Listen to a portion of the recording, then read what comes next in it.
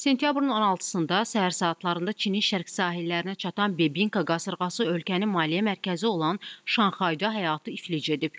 1949-cu ildən bəri Şanxayı vuran ən güclü qasırğanın gətirdiyi güclü külək və şiddətli yağışlar səbəbindən şəhərin bir neçə rayonunda məktəblər bağlanıb, ictimai nəqliyyatın hərəkəti dayandırılıb, çatdırılma xidmətlərinə fasilə verilib.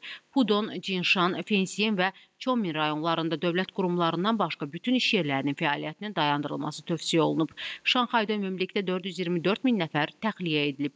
Güclü külək şəhərdə elektrik və kommunikasiya xətlərinə ziyan vurub, ağacları aşırıb.